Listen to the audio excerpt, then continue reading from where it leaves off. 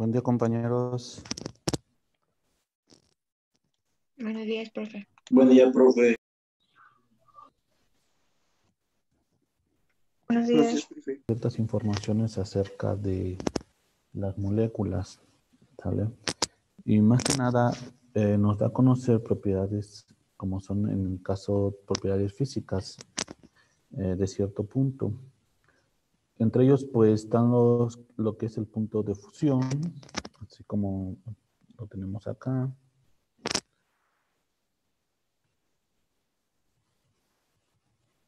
tenemos que está el punto de fusión. Nos da también información acerca del punto de ebullición, lo que es la viscosidad, la volatilidad, pues que son propiedades, como saben bien, pues son propiedades físicas de ciertas eh, sustancias o, moléculas como tal, de la cual pues eh, nosotros pues como químicos estamos más rodeados de este tipo de propiedades o sustancias que tienen propiedades de este tipo, ¿no? Entonces, a veces como para dar una explicación mucho más clara y concisa en nuestro ámbito, pues es importante conocer todo este tipo de cuestiones. Bueno, eh, lo que es eh, los puntos de fusión, los puntos de ebullición, pues están eh, propiamente relacionados con lo que es la temperatura. ¿Sale?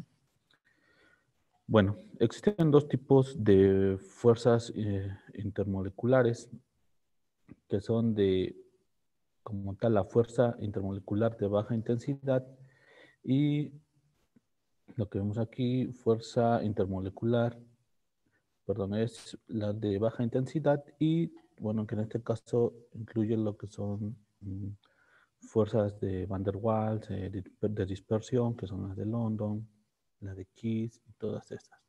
Y están las de intensidad fuerte, ¿no?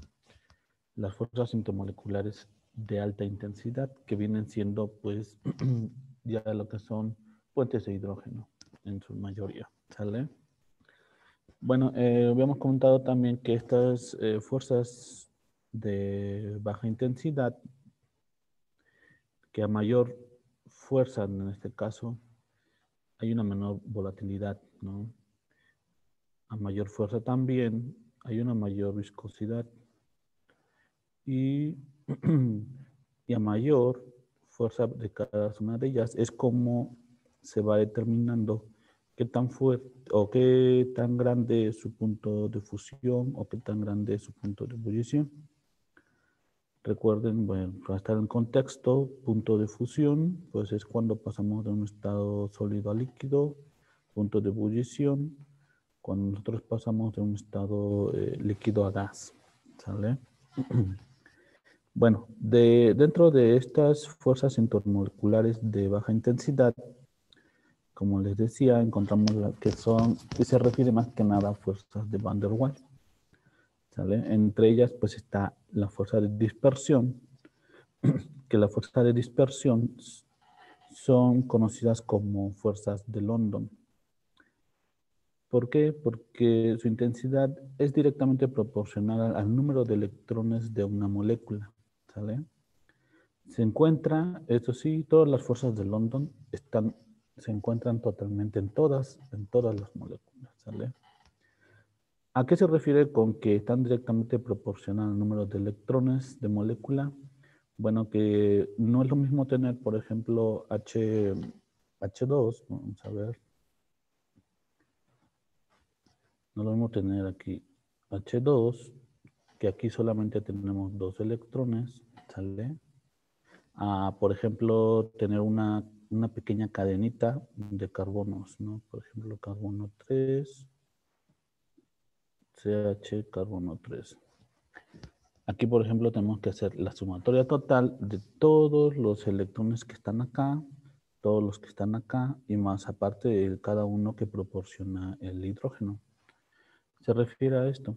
Entonces, pocas palabras, quiere decir que cuando, mientras que una molécula tenga más átomos unidos entre ellos, o sea, son mucho más átomos que forman una molécula, las fuerzas de London van en aumento, ¿vale?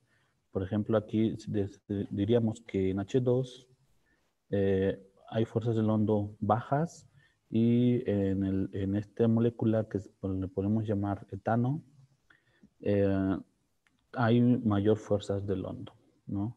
Pero si se dan cuenta, a pesar de su naturaleza, los, estas dos moléculas tienen fuerzas de London.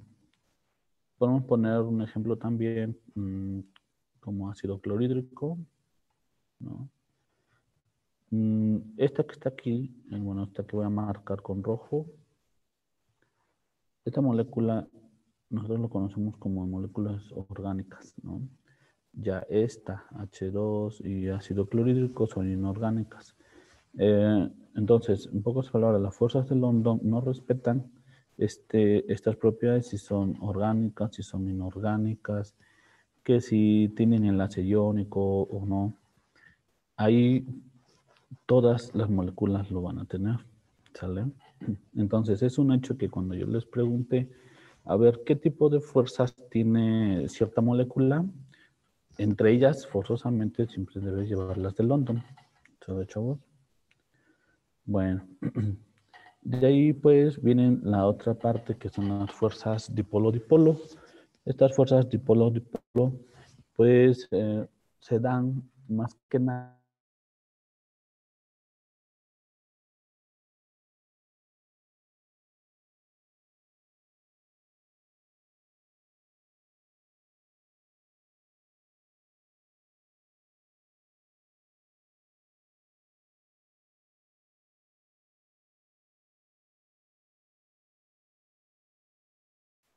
de acuerdo a su, obviamente, momento, a su momento de, dipolar que resulta, sale en este caso resultante.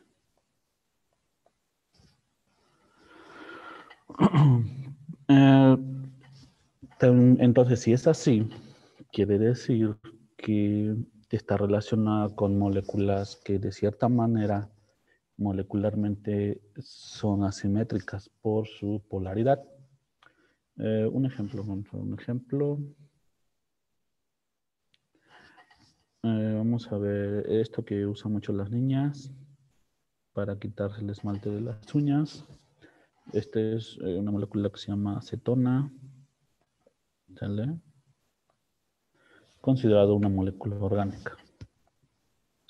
Bueno, vamos a ver. Aquí, pues en la acetona puedes poner, escribir, eh, eh, digamos, formalmente los carbonos. Aquí.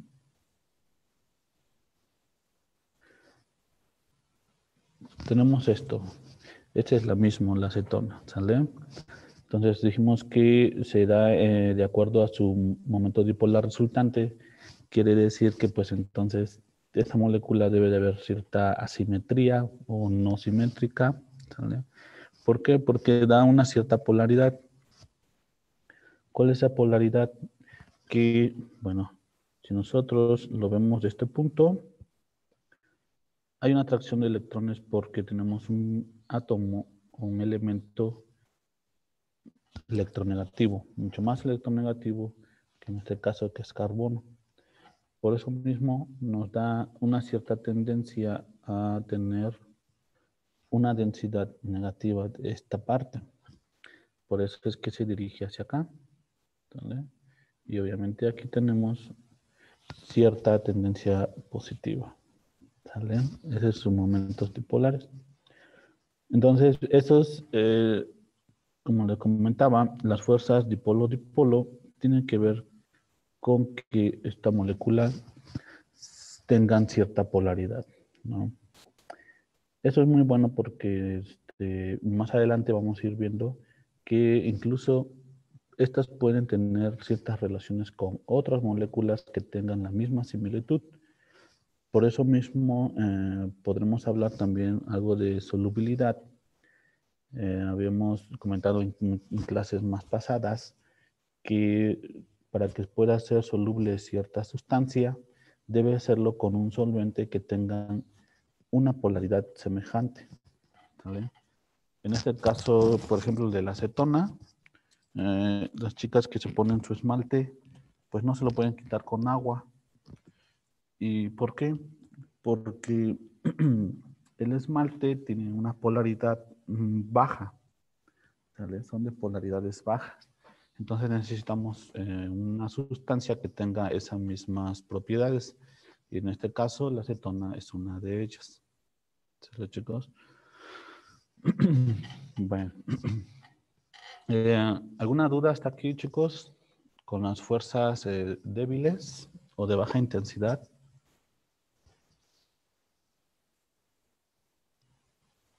Me voy a hacer pequeño para que vean que aquí estamos. ¿Tienen alguna duda hasta aquí? Profe, entonces eh, las, las, de dispersión van a estar presentes en todos los compuestos y las de dipolo-dipolo solo en algunos. Así es, efectivamente, las fuerzas de dispersión, que son las fuerzas de London, todas las moléculas lo van a tener, todas, ¿sale? En la dipolo-dipolo va dependiendo del momento dipolar que resulta en cada una de las moléculas. Mm, ¿De acuerdo? Bueno, por ejemplo, vamos a ver aquí si eh, ya le había puesto un ejemplo anteriormente sobre tetracloruro de carbono, por ejemplo. Si podemos decir que hay momentos dipolar aquí, sabemos que de cierta manera no lo hay. ¿Por qué? Porque es, para empezar, los momentos dipolares se vuelven simétricos. ¿Qué quiere decir? que se anulan. ¿Por qué? Porque si vamos hacia acá, si tienden las, eh, digamos, los momentos dipolares hacia afuera, a la hora de nosotros juntar estos, eh, digamos, vectores, se cancelan. Está el otro vector y se cancela. Entonces, aquí no tendremos nosotros fuerzas dipolo-dipolo, ¿sale? Ah, en pocas palabras, eh, como se dice comúnmente, no encontramos fuerzas de Kilson. ¿De acuerdo? bueno. Vamos a continuar. Ahora vamos a ver lo que son las fuerzas. Voy a poner aquí.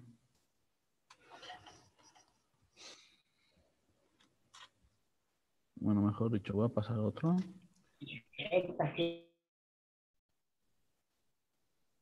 Profe, una duda. Entonces, por ejemplo, lo que el ácido, el, eh, el, ácido hipocloroso, ese sería, ese sería, actuarían las fuerzas dipolo-dipolo. Ahí sí, porque tenemos una tendencia de momentos dipolares. ¿Sale? Por ejemplo, vamos a, bueno, vamos a ver ahorita nosotros lo que son las fuerzas eh, intermoleculares.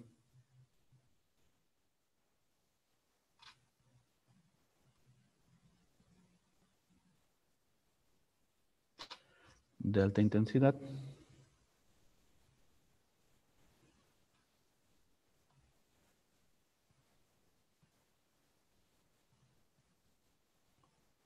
Se ve más grande porque la verdad estoy escribiendo con mi dedo. ¿Sale?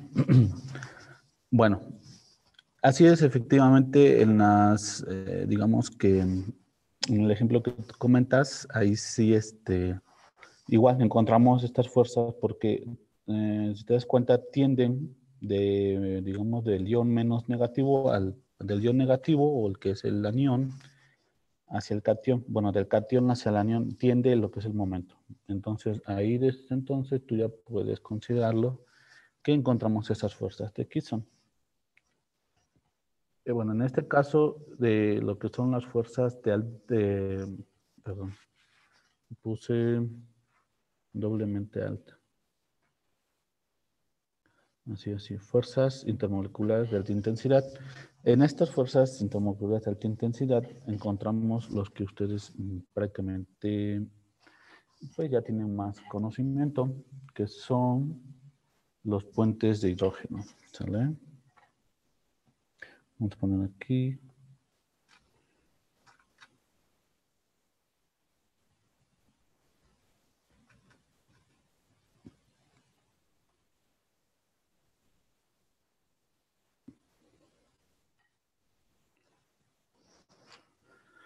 ¿Sale, chicos? bueno, eh, ¿cómo, ¿qué son de los puentes de hidrógeno? Bueno, estos puentes de hidrógeno, bueno, solo tienden a moléculas que, bueno, se dan moléculas que tienen hidrógeno unido a un elemento electronegativo. Voy a ponerlo aquí para los que no logran escuchar. Les voy a poner, se dan moléculas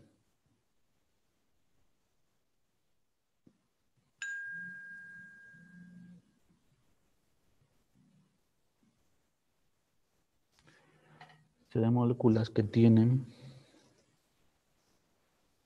Voy a ver si ya se activó.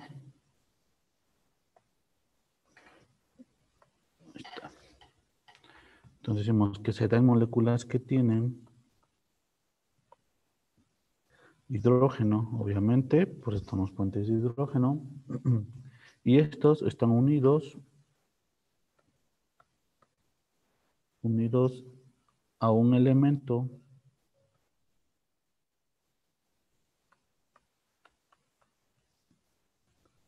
muy electronegativo.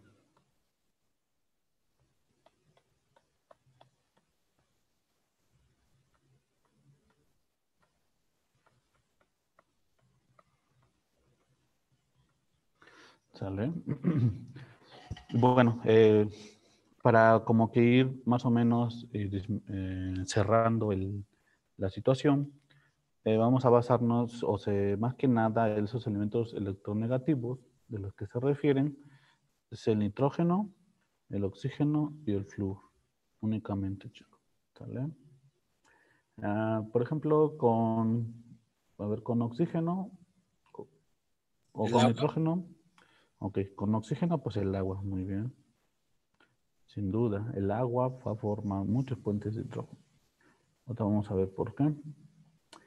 Bueno, eh, también, por ejemplo, con nitrógeno, pues ustedes ya conocen esta molécula que es eh, amoníaco. Y bueno, también está el de flúor, pues ácido fluorhídrico sin duda. ¿A qué se refiere con que va a formar esos puentes? Bueno, vamos a ver. Por ejemplo, con el agua. Con el agua si nosotros también eh, vemos de acuerdo a su densidad electrónica que hay en la molécula, nosotros podremos decir que, esto lo voy a poner con rojito, podremos decir que hay una densidad mayor o negativa acá, y aquí hay una densidad positiva. Entonces, si obviamente eh, esta molécula se encuentra con otras moléculas de agua más cercanas, Vamos aquí, oxígeno, hidrógeno. Aquí tenemos la molécula de agua. También estas, pues obviamente como pues, son la misma molécula, tienden a tener las mismas densidades. Y estos puentes se van a dar entre el hidrógeno que está unido a un elemento electronegativo, que en este caso, que este hidrógeno. Está unido a oxígeno. El oxígeno es electronegativo. Entonces se va a dar una cierta interacción. Bueno, vamos a ver aquí. Me falta ponerle que esta es una densidad positiva, ¿no? Como si fuera una, una atracción entre diferentes, si lo vemos de polos, diferentes polos, ¿no? Del polo negativo con el polo positivo. Entonces, esta, esta es, o este puente o este enlace se va a dar de esta manera.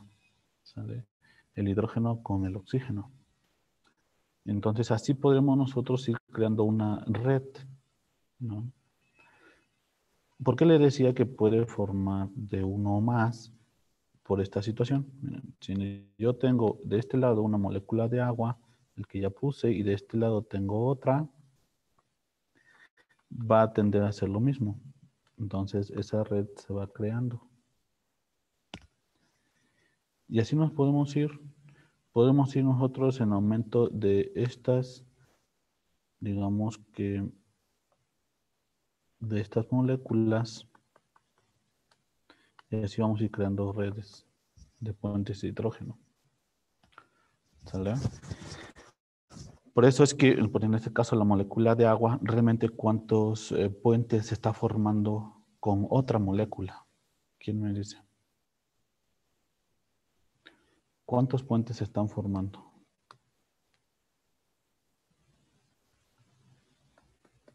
Si yo Pues coloco sería- acá otro. ¿Mande? ¿Serían tres? Tres, muy bien.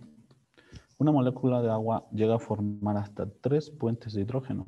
Dos propias, que son eh, las que son propias, pues son estas que voy a marcar. Y una que son, eh, van está correlacionada con el otro hidrógeno que no es propio. ¿Sale? Entonces, y así van formando toda esta red. Y el hecho de que una molécula tenga ese tipo de, de este, o que forme puentes de hidrógeno, esto lo hace, digamos que con ciertas propiedades tener, digamos, si hablamos de puntos de fusión, vamos a poner, o puntos de ebullición,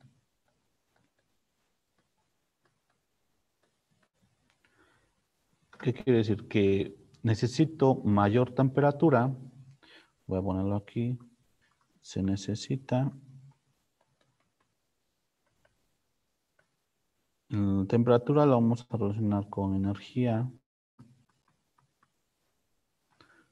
para romper los puentes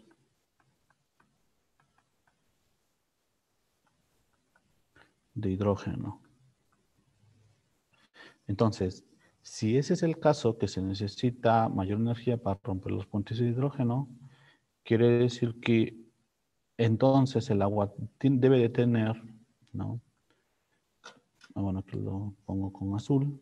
Debe de tener un mayor punto de ebullición. En este caso, que, que nosotros queramos llevarlo de estado líquido a gas, necesitamos aproximadamente, bueno, en temperaturas estándar necesitamos 100 grados centígrados para poder romper estas moléculas, o perdón, estos enlaces de puentes de hidrógeno de dentro, entre, que están relacionadas entre ellas, por eso son fuerzas intermoleculares.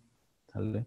Entonces, ¿qué quiere decir? Que pasa de estado líquido, así como están en una red de puentes de hidrógeno, pasan a estado gaseoso, que quiere decir que se rompen esos, esos puentes de hidrógeno y, farm- y pasan a ser moléculas de agua en forma de gas. ¿Sale? Entonces, cuando están en forma de gas, ya no crean esos puentes de hidrógeno como lo hace en estado, so- en estado líquido. Ya pasan a estar eh, de una manera más individuales. ¿Sale? Y bueno, esa misma situación pues tienen eh, estos ejemplos que son eh, el amoníaco o el ácido fluorhídrico. ¿Sale? Bueno, voy a comentarles otro. Vamos a ver. Eh, bueno, ese es, eh, se podría decir que sí entra dentro de las fuerzas eh, moleculares de alta, de alta intensidad.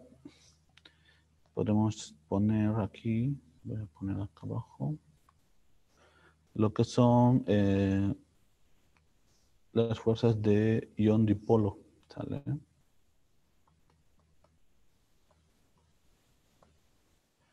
Las fuerzas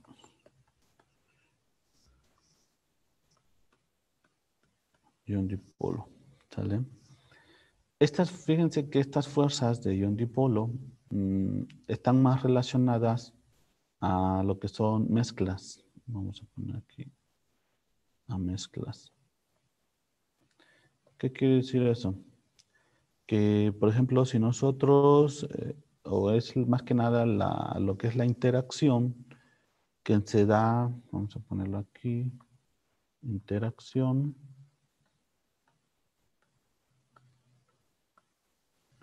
Que se da entre iones.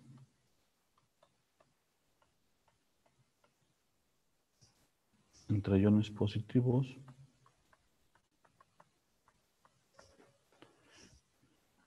y iones negativos.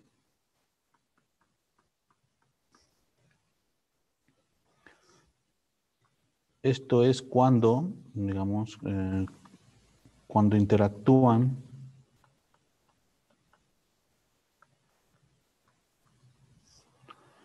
con moléculas polares.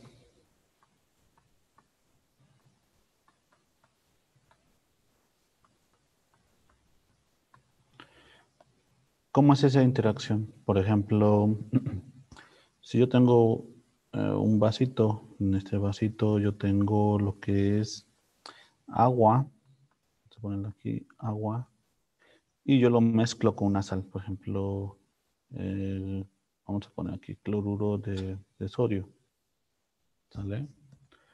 Ahí es donde se dan esas interacciones de ion dipolo.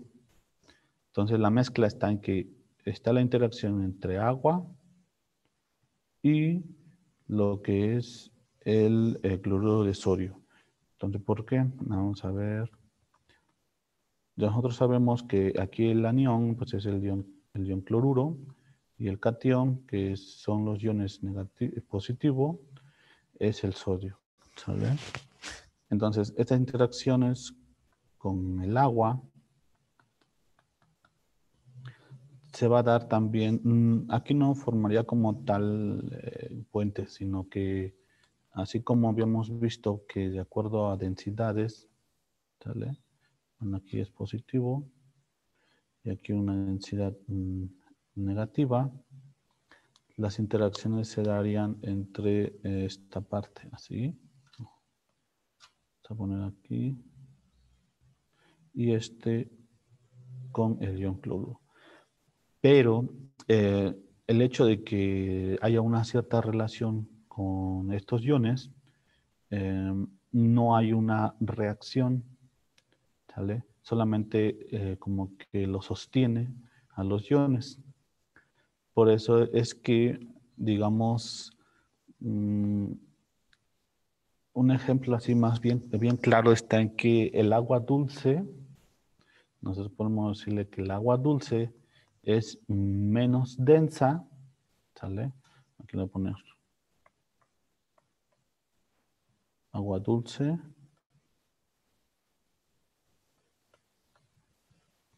Menos densa que el agua de mar.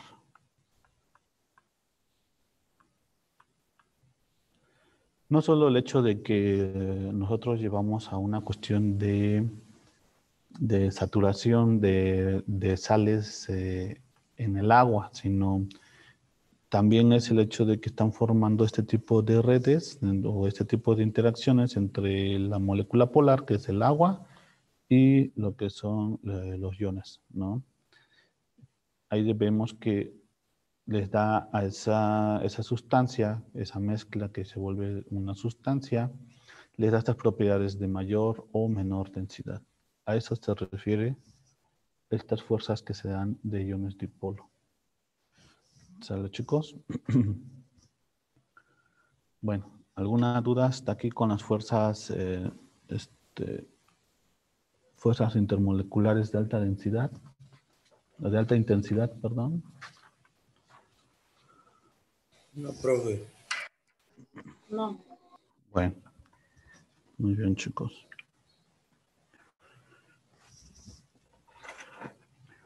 Ok, entonces podemos nosotros hacer como que una pequeña... Mm, ¿Qué será? Mm, como una pequeña síntesis, ¿no? De todo esto.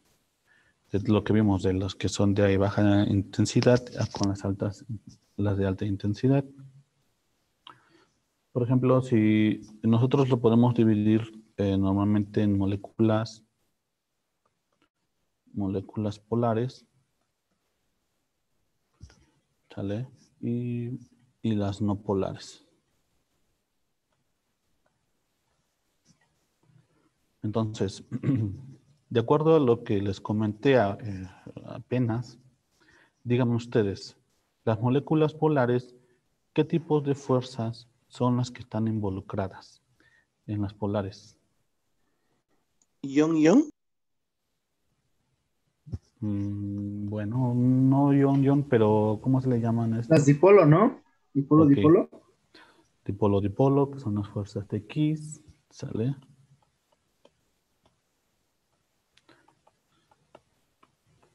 Aquí le ponemos fuerzas, lo que son fuerzas de X, ¿sale?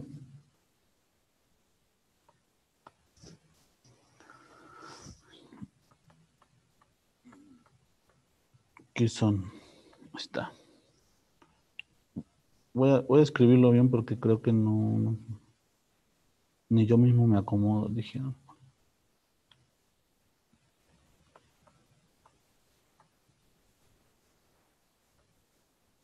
Bueno, se hizo lo que se pudo. Son las fuerzas de Kisson, ¿sale? ¿Qué otras fuerzas? ¿Cuáles quedamos las que son de ley? ¿Cuál es la fuerza que dijimos? De ley va a tenerlo el simple hecho de ser una molécula, ya tiene este tipo de fuerzas. Las de Van der Waals. Ajá, ¿cuál es de Van ¿Las der de Waals? dispersión? Exactamente, la de dispersión. La dispersión, ¿cómo se conocen? De London, ¿no? Exactamente, fuerzas de London. Entonces, simplemente que escuchen ustedes fuerzas de London, ya sabemos que son fuerzas de dispersión y ya sabemos que todas las moléculas lo van a tener. También con las que son dipolo-dipolo, el simple hecho de que ustedes eh, en algún momento escuchen en alguna otra literatura eh, fuerzas de Kisson, entonces se está refiriendo a este tipo de interacciones dipolo-dipolo o fuerzas, ¿sabes? ¿Y cuáles otras? Las moléculas polares que más pueden formar.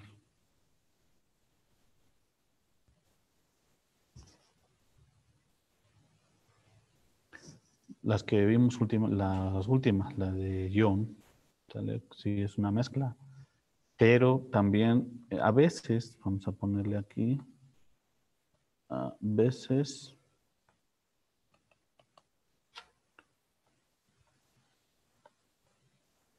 a veces forman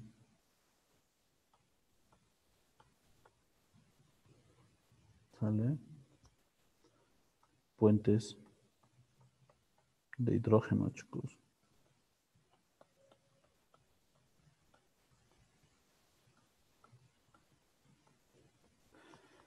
¿De acuerdo? y, y las no polares, Ion-ion.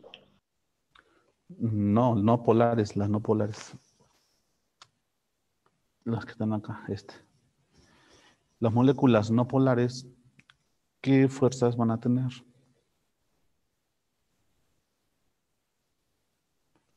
También fuerzas de London. Exactamente. Ya habíamos dicho que todas las moléculas tienen fuerzas de London.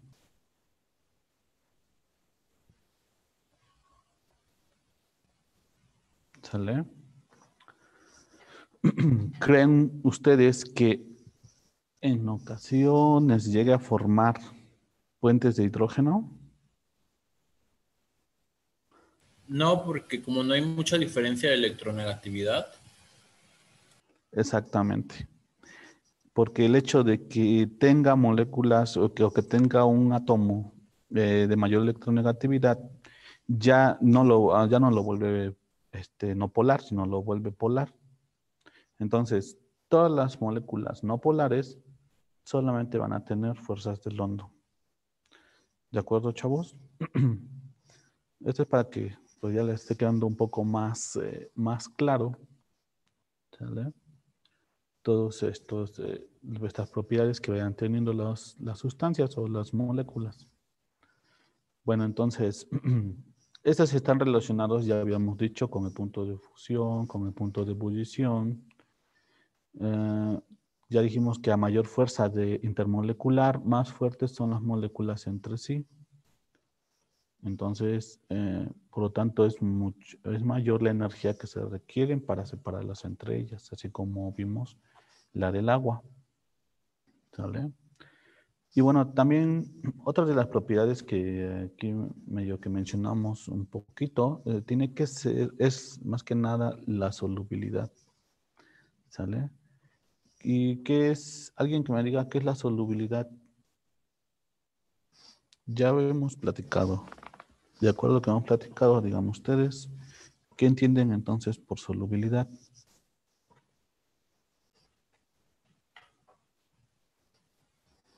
Pues es cuando se disuelve en un disolvente.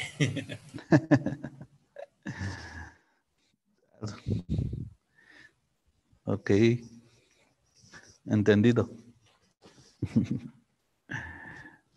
bueno, eh, pues prácticamente es la capacidad, ¿no? Que tiene una sustancia como tal, que de acuerdo a sus fuerzas que lo componen, estos tienen a formar eh, también cierta atracción o cierta eh, interacción con el agua, ¿sale?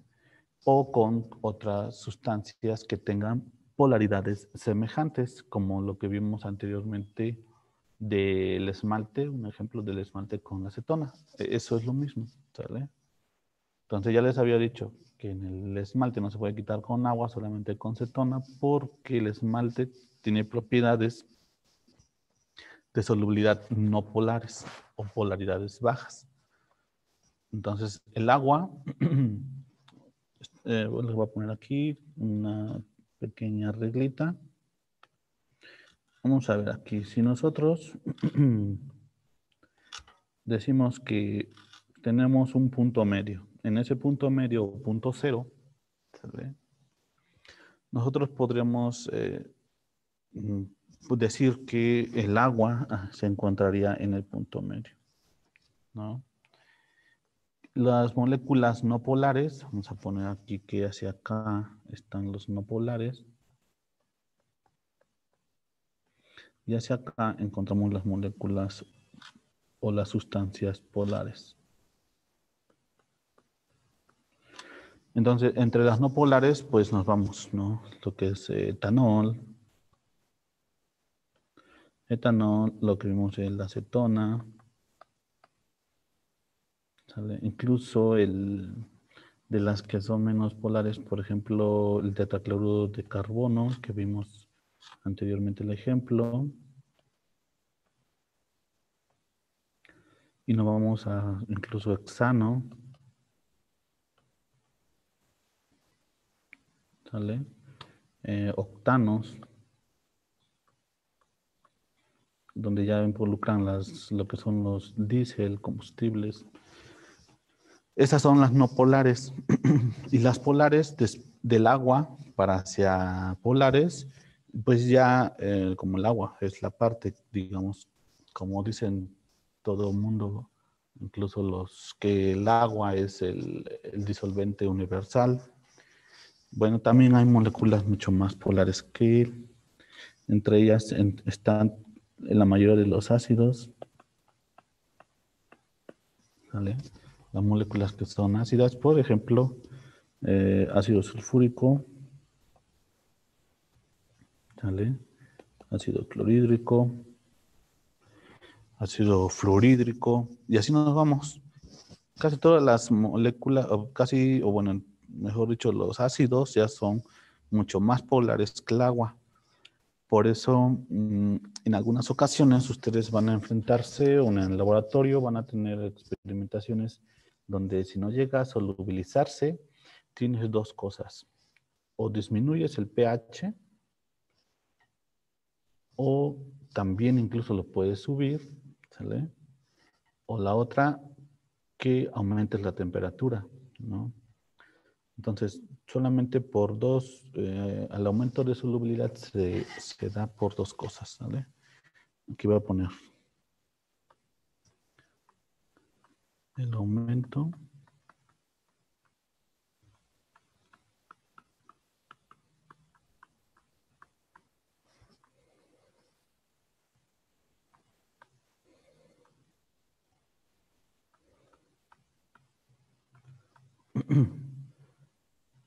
Uno de dos. O haces una variación del pH o un aumento de la temperatura.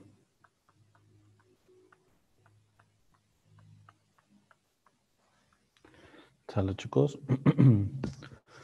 Entonces le decía, eh, en el laboratorio a veces para que nosotros volvamos más soluble alguna sal, porque de acuerdo a sus propiedades de equilibrios de las sales, no, a veces no se presta para hacerlo soluble en agua, por ejemplo, ¿no? Entonces lo que se hace es hacer un cambio de pH para llevarlo a su solubilidad. O la otra es el aumento de la temperatura. Por ejemplo, no es lo mismo, ustedes mismos lo han comprobado en la cocina, cuando se prepara un café, a veces quieres disolverlo en un café frío y tardas más en disolverlo, el azúcar, ¿sale? Eh, y, por ejemplo, si tú aumentas la temperatura en, un café caliente, el azúcar rápidamente, incluso le hasta le echas de más. ¿Por qué? Porque, pues, eh, la temperatura eh, agiliza la solubilidad y más que nada porque eh, digamos que como que estas fuerzas que se dan entre las moléculas, que por la que son las de London, las, las debilita, las va debilitando para empezar a disolverse, ¿no? Entonces, es por eso que eh, solamente por estos dos tipos de, o por estas dos cuestiones, pues que podemos nosotros hacer variaciones en lo que es la solubilidad. ¿Sale, chavos? Bueno, porque es importante que vamos a ver unos ejemplos.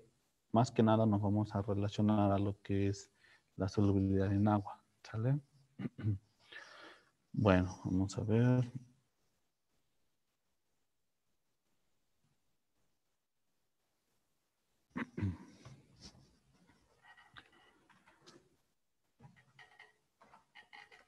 Bueno, vamos a ver unos ejemplos. Voy a poner la siguiente. Mm, a ver, C,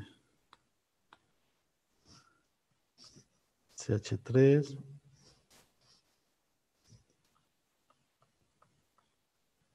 CH2.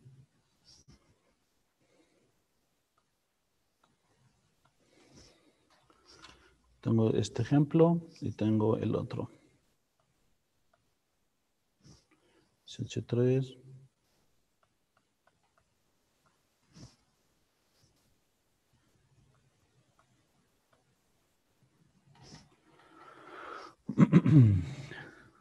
Bueno, este, esta molécula que ustedes ven acá tiene la siguiente, eh, digamos, cadena. Vamos a ponerlo en cadena. Sería 1, 2, 3. Y luego aquí tengo lo siguiente, tengo oxígeno.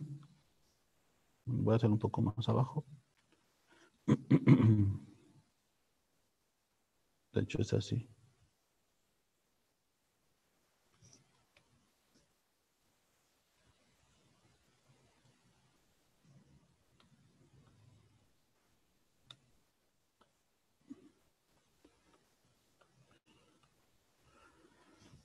Esta es la molécula. Bueno, aquí me, no, me acomodo muy bien.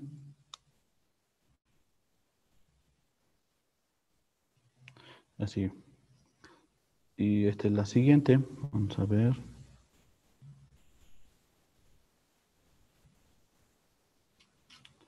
Aquí. Ay, perdón.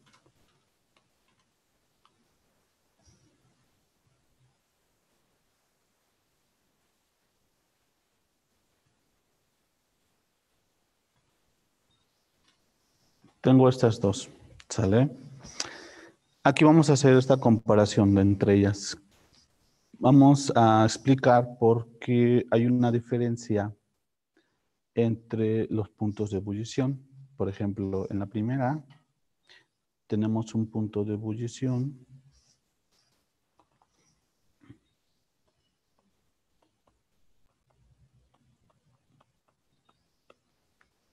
igual a 187. 187 grados centígrados.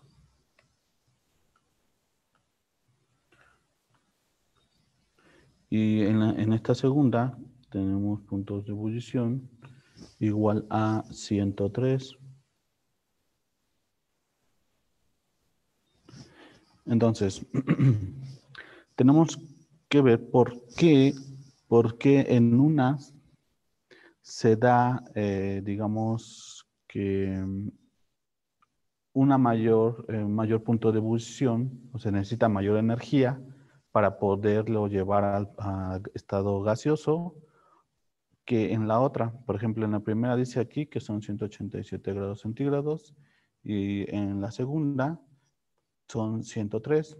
Entonces, esta tiene mayor temperatura de punto de ebullición que esta. Entonces, vamos a ver. Obviamente, esto ya habíamos dicho, está relacionado con sus fuerzas. Ahora díganme ustedes, en la primera, ¿qué fuerzas vamos a encontrar? En estas, ¿qué fuerzas tenemos? ¿Serían las de puente de hidrógeno? Ok.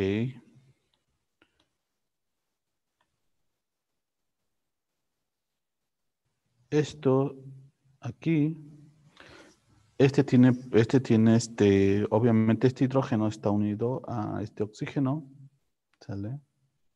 Obviamente que es un elemento más electronegativo, por supuesto que va a tener entonces puente de hidrógeno.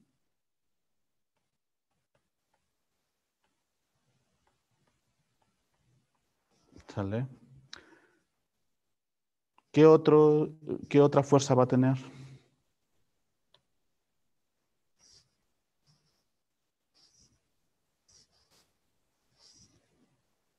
¿Las de London? Las de London. Las de London. Aquí, voy a borrar aquí, chicos, este. este aquí.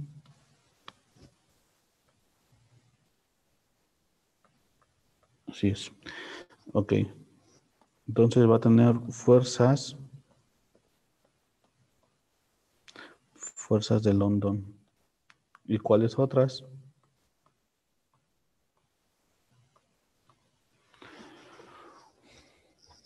Hay momentos dipolares ahí. ¿Serían las Sí. de Kepler o algo así comentó? Entonces hay que fuerzas de aquí son. ¿Sale, chicos? Entonces, de entrada, tiene fuerzas de London, como todas las moléculas. Tiene fuerzas de Kisson. Aunque estas, dos fuerzas son de intensidad de- débiles o de baja intensidad, eh, si solamente tuviera ellas, tal vez terían, tendrían como que temperaturas similares de puntos de ebullición. Eh, ¿Qué lo hace que uno sea mayor que el otro? El punto de, eh, bueno, más que nada el puente de hidrógeno. ¿Por qué? Vamos a ver en esta molécula. En la siguiente molécula, díganme ustedes, ¿qué fuerzas tiene?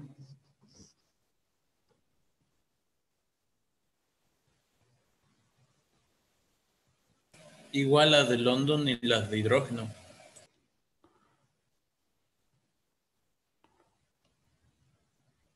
Ok, aquí decimos de entrada tiene fuerzas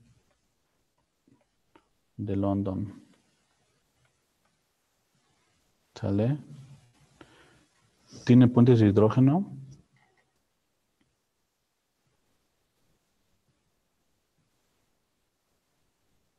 ¿Qué me dicen ustedes, chicos? Yo creo que no. A ver, voy a, voy a poner, est- esta la voy a poner acá abajito, desarrollada, ¿sale? Vamos a poner aquí. Yo digo que sí. Vamos a ver aquí, CH3, CH2. Luego aquí tengo CH2, aquí tengo otro C, CH2. Y aquí ya viene el carbono unido a oxígeno y este carbono está unido a hidrógeno. ¿Hay puentes de hidrógeno?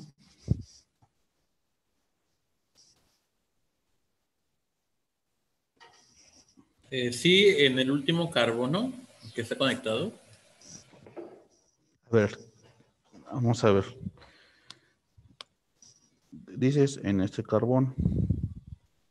Ahora, entre ese carbono y el oxígeno, ¿cuál es más electronegativo?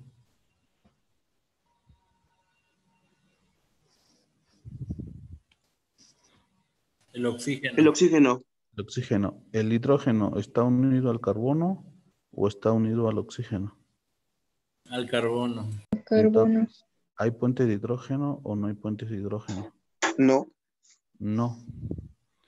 Muy bien.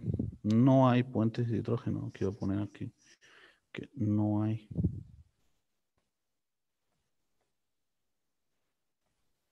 De hidrógeno. ¿Sale? No hay puentes de hidrógeno. Hay también, aparte de eso, hay fuerzas de Kisson, que son las de dipolo-dipolo.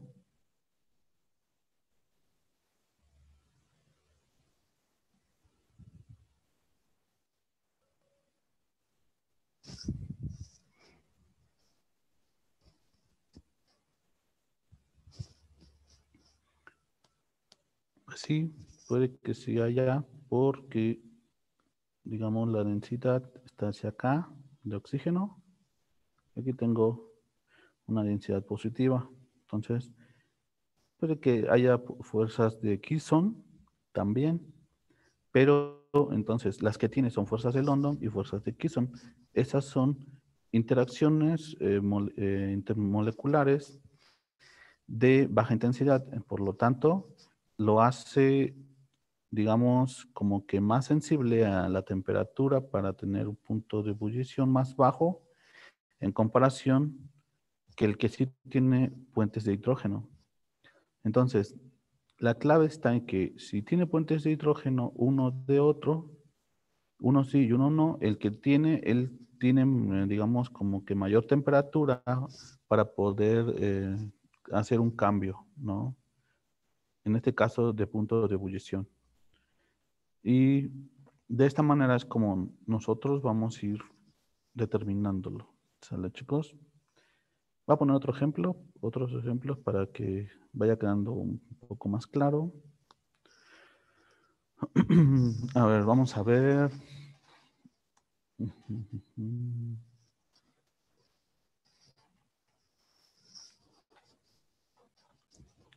Ese está interesante, fíjense.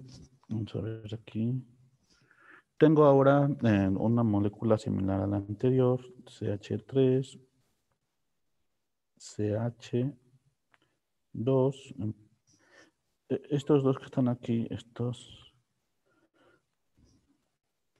que a lo mejor no, no lo comenté bien.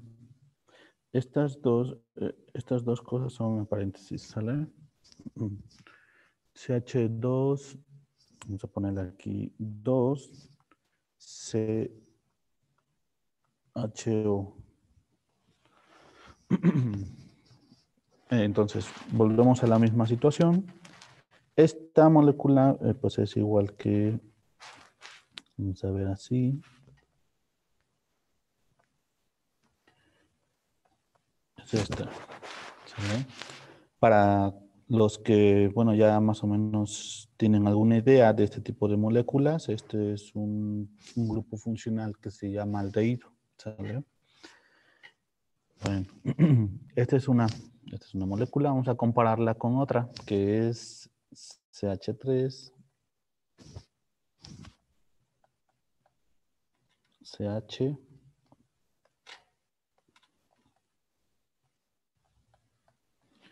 CH2, 6, CH, doble enlace, CH2.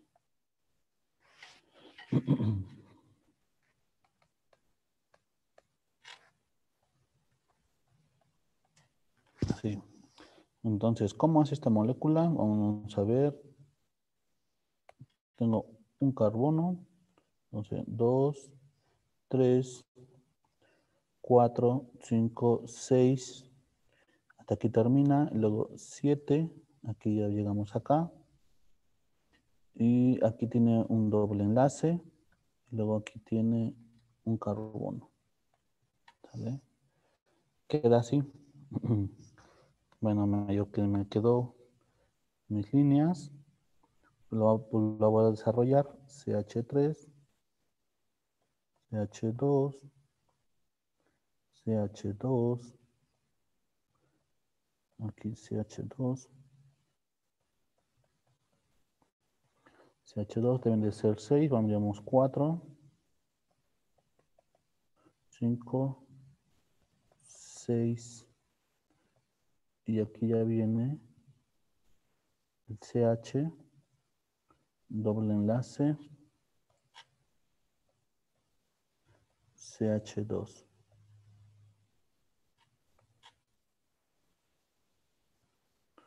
Voy a poner bien aquí el CH.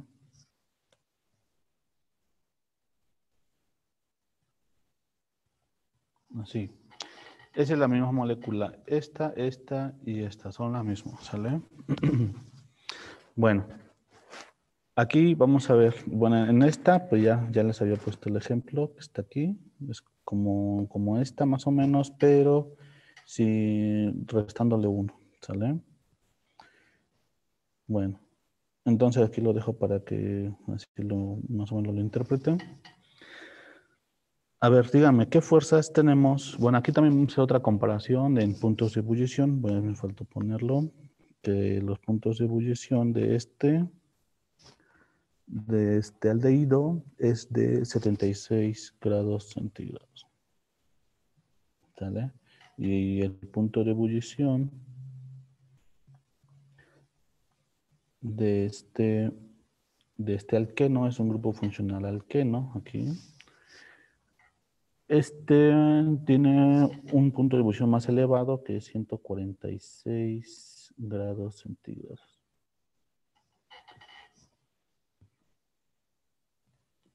Esto está interesante. ¿Por qué? Bueno, vamos a ver.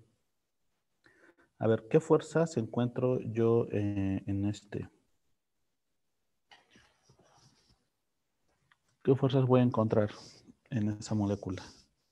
La de dipolo, dipolo, ¿no? Por el último carbono. Sale, dipolo, dipolo, que son las fuerzas de Kiss. ¿Sale? Vamos a poner fuerzas de, de Kiss. De Kisson. Ya saben ustedes que es de dipolo, dipolo. ¿Y qué otras fuerzas? ¿Cuál es la fuerza de la ley? La London. de London. Las fuerzas de London. ¿Sale? Y ya, no tiene puentes de hidrógeno, ya observamos. ¿De acuerdo? Ya vimos que aquí, como el caso aquí, no hay.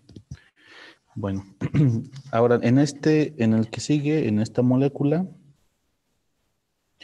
¿qué tenemos? ¿Qué fuerzas tenemos? La de la ley, ¿cuál es? La de London. las fuerzas de London. ¿Y qué otras fuerzas tenemos?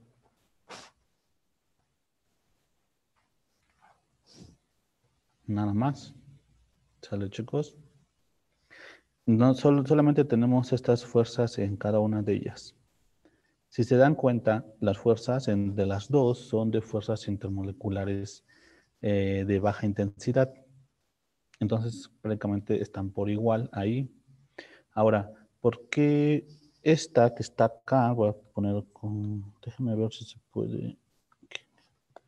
¿Por qué esta molécula, aún teniendo las mismas, digamos, las mismas intensidades, ¿por qué tiene esta menor punto de ebullición a comparación de esta? ¿Quién me dice por qué?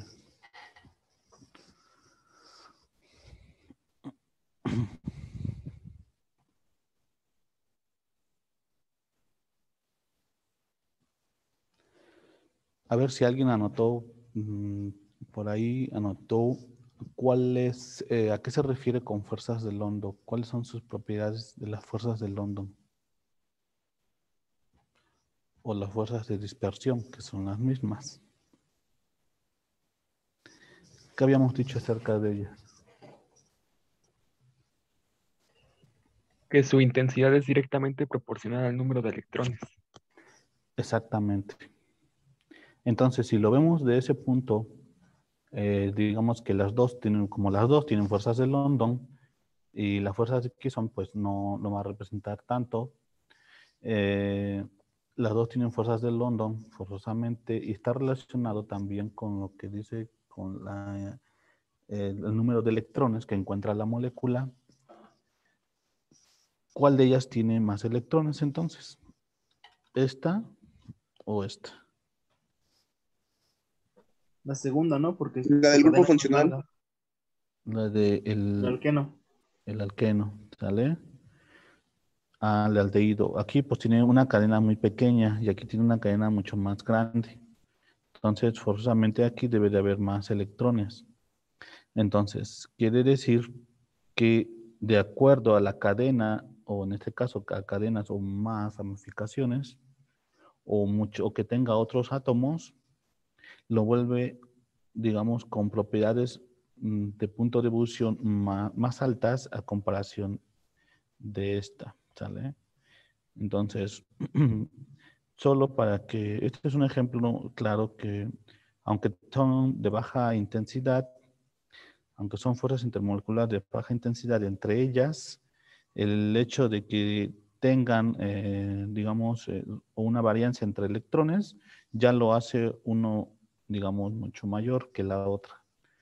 ¿De acuerdo? En lo que son puntos de ebullición. Y obviamente, si estuviéramos platicando de, de moléculas sólidas, tendrían la misma- el mismo sistema, ¿vale? con puntos de fusión relacionados también. ¿Sale, chavos? Bueno, vamos a ver. Mm.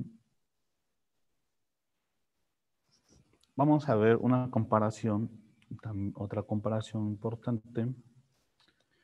Vamos a ver aquí. Tengo una molécula con una cadena grande. Vamos a ver aquí. CH3. ¿sale? CH3, CH. CH2. Otra vez unos 6 unos seis átomos de CH2 o moléculas de CH2. Tengo esto. Este es un alcano. ¿sale? Bueno, este alcano, ya, ya habíamos, si se- ustedes se dan cuenta, eh, bueno, algo que quiero que observen es que estos están relacionados, ¿sale?